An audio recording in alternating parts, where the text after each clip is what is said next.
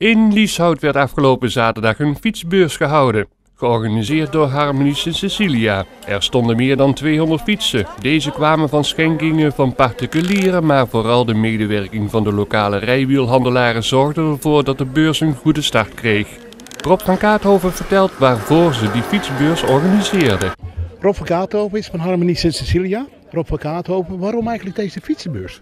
Een aantal redenen. Het is leuk om natuurlijk zoiets te organiseren. Er komt een hele hoop volk op af. Mensen kunnen zijn fiets kwijt en een fiets uh, uh, kopen. Dus uh, iedereen wordt er blij van. En voor de Harmonie is het vooral leuk omdat een klein gedeelte van het bedrag wat per fiets verkocht wordt, gaat naar de Harmonie. En we zijn wat geld aan het inzamelen voor ons jubileumfeest. Wat in juli 2016 gehouden gaat worden. Nou, en daar draagt dit mooi aan bij. Ik kom een fiets ook te kopen aanbieden. Dat kan. Kom, dat kan. Dan loop maar mee. Oké, okay. mooi. Oh, sorry. Ja.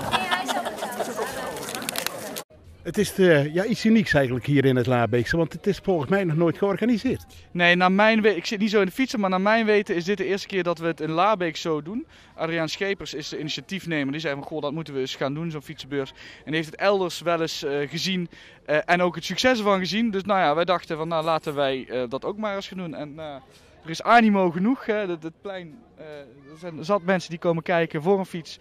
Dus nou, het, er is behoefte aan. De Harmonie bestaat in 2016 uh, 140 jaar, de slagwerkgroep 60 jaar. Uh, komt er iets uh, leuks in de, de, komende jaren eigenlijk van plan? Uh, we gaan alles bundelen in een weekend. En wat dat precies gaat zijn, dat kan ik nog niet helemaal verklappen. Er zijn grootste plannen. En dan gaan we binnenkort ook wel bekendmaken wat dat gaat worden. Maar ja, 140 en 60, nou dan ga je een beetje tellen. Wordt het 200 jaar, dan wordt het jubileum alleen maar groter. Kortom, des te meer reden voor een heel leuk feestje. Voor heel Laarbeek, voor iedereen. Dus niet alleen voor mensen die uh, harmonieliefhebber zijn, maar echt voor iedereen.